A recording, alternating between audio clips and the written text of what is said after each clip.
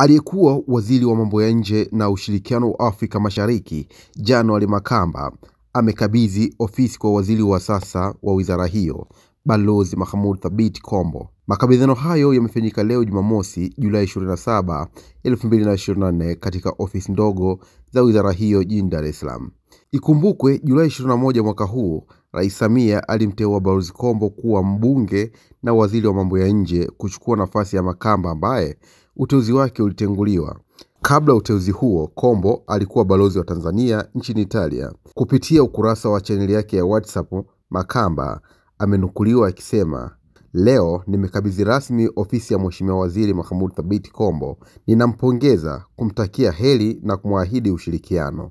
Nimemshukuru Mheshimiwa Rais kwa imani na fursa ya kuhudumu. nimeshukuru familia nzima ya wizara kwa kazi tuliyoifanya pamoja na kuwatakia kila la heri.